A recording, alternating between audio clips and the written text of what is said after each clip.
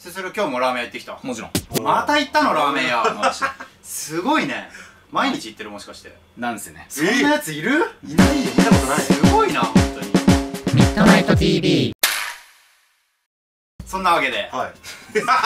そんな毎日行ったらさラーメン屋なくなっちゃうよ。よく言われます。よく言われます。そして毎月60件できて60件できてるんですよ。っていうのややってますやってます今60件できて60件できて120件増えたけど。台風60件消えて60件できてんだよ一な説にはね。だからもう創業何年とかはすごいってことだよね。すごい。だって5年持つお店が5%とかそういうなんか数字があるんだよね。なんかもうあそれはもう何周年とかみんな祝うわ。そう。うん。そうなんですよ。お祝いだねやっぱすごいことなんだよね。あー1年持ってたけどすごいんだから。確かに。そんな すするさんですが、お前で振ってお前で持っていくお前が話してましたなあ。確かに。毎日ラーメン屋に行って、うん。その選び方っていうのはやっぱ気になると思うんですよ皆様。ああそこね。言って3万5千とか言われてますから、はいはいはい。その中から毎日1店舗選んでっていう、うん。その基準とかがもしかしたらあるのかなっていうのをなるほど。皆様に聞いていただければなっていう。でまあもしねラーメン屋毎日すすりたいぞっていう方がいらっしゃったら、その参考にしていただければっていうなるほどね感じで、甘噛みしてましたけどね進めるんやなと思いながらも我慢しましたけどねもう行く気満々やった俺ら様子伺ってよいいのこのまま行っちゃういいんだな俺バトン落としてるよってそんなわけで、はい。はい。まあ多分いくつかあると思うんですけど要素は。基本的にはあれですよね。お金もらってそのお金次第でってことだよね。金の順番で。金積んでもらってだよね。曜日かぶったらお金多い方に行ってみたいな。ですよね。ですよね。まあまあそういう説もねにわかに語り継おいおいああがれてるるんかい。否定してくれお前は。がっつり行けがっつりそこは。いやないですよ。それあの本当に結構自分でやっぱ選んでいきたいなと思ったお店に行くようにしてるんで。まあその選ぶ基準がどうなのかっていう話まあそうですね、ああなるほどな。まあまず第一は、うん。やっぱりあのラーメンのビジュアル、まあ、僕らがそのと言っているはいはいはい。このラーメン一杯出されるじゃないですか、うんうんまあ、この画像を見て、うわここのラーメン食べてみたいって思えるかどうかっていうところ。いなるほど。まずネットで検索しながら、うん。でビジュアル見てあここいいなって思ったところに行くみたいな、やまずそこですね。ネット検索からなんですねまず、うん。まあもちろんその有名なお店から出ましたとか、うん。そういう出身のお店とかやっぱ目をつけるっていうところあるんですけど、うん。やっぱそれの中でもさらにうわここのラーメンは美味しそうだなとかこれ絶対うまいだろうなって思うところに行くようにしてますね。なるほど、うんやっぱり。本当何でもかんでもいい人はやっぱもう駅前のねそれこそ、まあ、名もなき家系とかに行ってもいいみたいな話だったけどそれはまあそれはちょっと避けたいというか。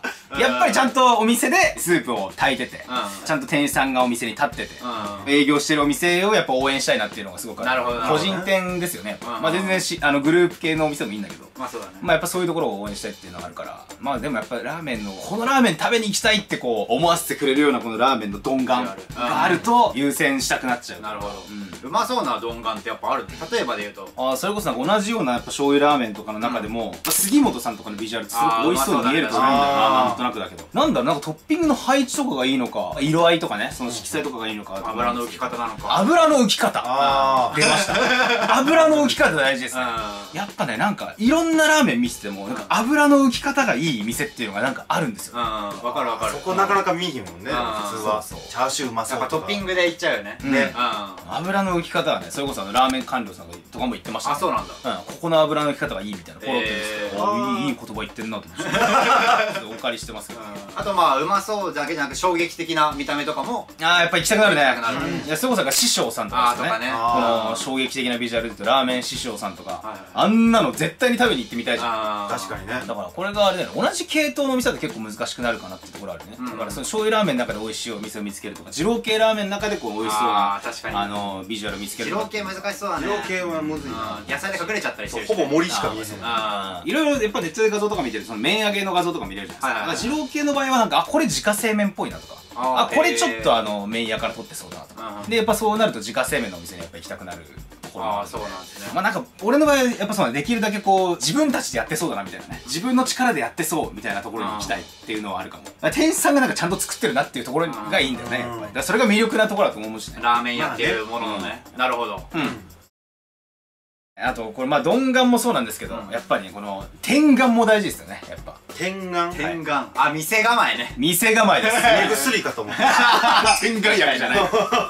目じゃなく顔ね。あそうそうそう店の顔ね。店の顔もやっぱ大事でしょ。うんなるほど。ここもだって店主さんがいわゆるその一国一城の主になるうん。お店をやっぱどんだけ気合い入れて作ったかとかどんぐらいその自分の個性を出すかみたいなところがすごく出ると思うんで。それこそ福島のガキ大将とかはそれで入ったりしあーあれよかったな直近で言うと。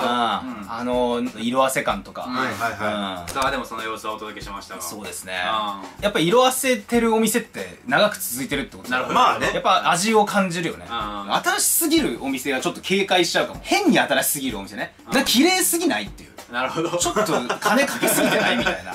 あそっちにね。看板がやけになんかすごいビカビカ光ってたりとか、はいはいはい。結構前のサブチャンでもしかしたらやったかもしれないですけど、うん。店員さんのポエムが貼ってあるみたいな。はい。そんなとこに金使って暇だったらもう原価かけれるだろみたいな あのねこんなこと言うとあんま良くないかもしれないけど、うん。うんみたいなのはやっぱ思っちゃうもんな、うん。外観も結構大事かなってな。るほどね。思うなやっぱうまそうな外観ってなんかあるもんねちょっと控えそうな、確かにな、うん。でこの外観でこのラーメン出すからよりあーとかみたいな時も。とかね。うん。そういうギャップが良かったりとか、うんうんうん、まさにそのまんまのものが出てきたりとかね、うん外観のちょっと色あせた感じのその味のある感じのラーメンが出てきたりとか。うんそういうのもあるからなやっぱ。まあすするの好みで言うとそういう外観。だけどそれこそだからみんなはいろいろすすってみて自分の好きな外観を見つけるのがいいってことああそうだね。あるパターンが見つかるかもそうそうそうそう。なんか波長合いそうだなみたいなね。そのあー店員さんとなんか合いそうだなみたいなところを見つけられるといいよね、うん。というかそもそもさその、うん。ラーメン情報を仕入れてるツールは何なの？食べログ？以外の。えっ、ー、とね食べログはどっちかというと俺もあのその調べに行くときに使うからどっちかというとやっぱツイッターとかインスタでラーメンの画像とかいろいろ僕流れてくるんですよ、うん。あであここ美味しそうだなって思ったところを調べるっていう。なるほどなるほど。じゃあそういう SNS をフォローしまくった方がまあまあ画像流れてくるよねやっぱ。なるほどね。うん。普段からやっぱラーメンを見る機会を増やすというかおおなんていうか目を研ぎ澄ましておく触れておくみたいな。あそうそう。触れるやっぱ。毎日触れる緒に寝るみたいな。あそうそうそう。バスケットボールを抱いてそうそうそうそうそうそうそう。友達なんだもう。やっぱ大事にした方がいいですよ。ラーメンの画像は。本当に。やっぱ毎日見るとなんか分かってくると思うんだよなっていう。うん。ブログとかでも全然いけますよ本当に。うん。あの最近だったらあれ分かりやすいですね東京ラーメンタルっていうブログすごく分かりやすいですよ。東京ラーメンタル、はい。ララーメンタルかな。ドキュメンタル的な東京ラーメンタルさんすごく。味玉の割り方がうまいよね。そこもあるんだね。玉の割り方どうやって割ってんだろうなって思うんだよほんとすごい丁寧に書かれてて、うん。結構新店とか、まあ、ある程度行ったりしてるし、ん。あと例えば家系ラーメン10選とか、そういうなんかまとめとかもやってくれたりしてるんですごく見やすいブログ。新店だったらあとイケメンさんとかですね、うん。東大の新店はもうほぼほぼすごいな。もうイケメンさん見たら全部網羅できるぐらいの感じじゃないかへなマジですごいふっかるだよね。だから新店オープンしたその日の午前中 TP とかで言ったらイケメンさんに会えるらしいですからね、ええ俺7番目にイケメンさんいるじゃんみたいな感じになるらしいです。その界隈ではね、えでまあ、そこら辺は見るかな。結構あらゆる手段を駆使してるかもしれない、まあね。別に本も見ないわけじゃないしな。雑誌は雑誌であの何枚もさラーメンの画像載ってるからすごい楽しいんだよね、見るのがまあまあ確かに。うん。ネットってさ要はさ、うん。自分から行かなきゃ見れない情報、はいはい自分で取捨選択した情報じゃん。結構能動的なね。そうそう、ん。雑誌ってもうさ向こうが提示してきた情報だからたまに面白い発見がある、うんうんうん。その良さあるよ自分では多分目つけなかったなみたいなうんあー。載ってたりするね。載ってたりするのがね。うん。あらゆるラーメンツールに触れようと。まあそうですね。それが望ましいけどな、うん。一番。まあ画像で言ったら今はもうインスタがやっぱ圧倒的にあるんじゃないですか、うんうん。うん。活動してる人も多いしね、そうだね、まあツイッターも多いですけど全然、うん。なるほどあと実際あれですよ。やっぱその視聴者の方からいただいたあのコメントとか、うん。うんあのツイッターだったりリプライとかね、うん。そういうコメント系もやっぱ意外とちゃんとチェックしてますよっていう。ああ。そうだねうん。結構ねあるんですよね。あとここまだ行ってないのみたいな煽りがあったりするああ確かあに行かなきゃって。みたいになる。クソってなるんや。確かにどんどん煽ってください。先越されてんじゃんとかね。だからラーメンムーとか俺ずっとそうなんだよな。本当東神奈川のね、うん。夢へー。夢と書いてムーね。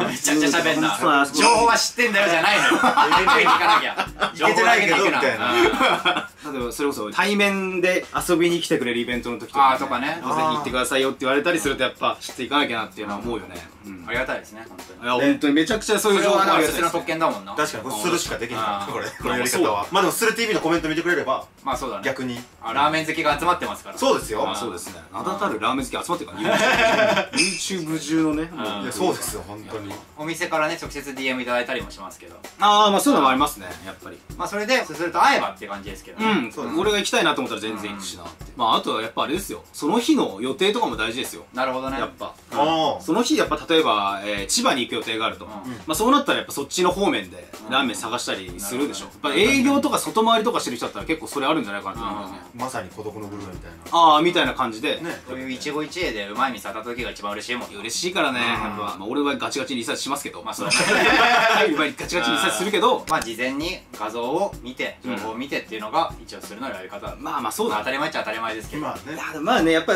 楽しいとも思うんだよそのこんなとこにラーメンやったんだみたいな入ってみようみたいな感じで入って美味しかった時とかやっぱり嬉しいじゃないですか、そういう楽しみ。まあだから無限もう好きに食べてください。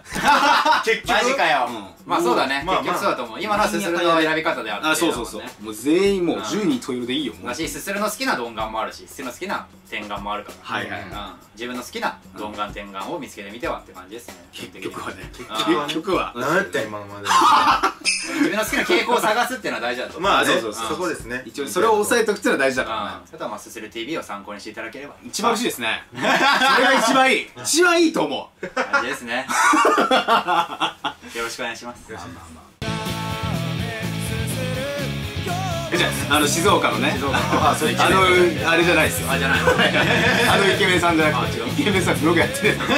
なんやかん言って自分のその住んでるところの近くにあるラーメンローテするとかはすごく無難にいいと思うけどね。なんやかんやで。結局そういうのいいからねやっぱ、うん。家から近いってうまいからねもう。ー出た近いはうまいね。近いはうまい。うん。これ間違いないですそれはあるそうなんだよ。マジでそうなんだよ。ういけないもんどんだけうまくてもなんかうん。岐阜とかやったら。ねえ言われても力道行こうと思わないでしょやっぱ。力道俺めちゃくちゃうまいけど。めちゃくちゃ行きたいわ力道。うん。フラッと行こうと思わないじゃん。まあそうだね。ふっとはいけないね。飯田商店の方がやっぱ行こうと思ったら予約しなきゃいけなかったりとかうん。距離もあったりとかでうん。やっぱ一日あげなかったりいけなかったりするしね。まあそういうところはそういうところでまたイベント感覚で楽しめるからいいことだけどね。確かにね。うん。俺らラーメン屋決めてから他決めるもんなツアーの時だけ。あそうそうそう。ああそうだとりあえねずあの県決めてすするに行きたいラーメン屋出してもらって僕がスケジュール組むって感じなんで。そうですね。いつも。基本。そういう旅行の仕方も楽しい。う。んラーメン屋さん基準にするとなんか行く場所が定まるからさ。そうそうそうそう。結構いいんだよね実際。どうするってなるぐらいやったら。うん。うん。先にもうラーメン屋さんの場所決めてその近くで観光場所を探すっていっていうう感じでいつもやり方とかねあるからな全然。めんどくせえ時あんだよすするが。うんそんなめんどくさい出し方してる？人最来たん近だよ。いやばらけさせた方がいいかなと思ばらかす同じ場所ばっかりまあ行ってもまあね。らえね。せっかくならみたいなね。ね。10分おきにラーメン食べたくないでしょ まあ確かにね。やっぱ開けたい時とかあるからさやっぱ。うんあ胃袋気にしてくれてんねや。いやもうそれはね最近はやっぱ。最近はやっぱ最近最近やっぱ気にするよそれは。やっぱ。日常にラーメンをっていうことでしたね。なんだこれ。うん。なよかったですね。変な締め方していい企画ですね。さっき終わっといてよかった。よいい企画だったな。うん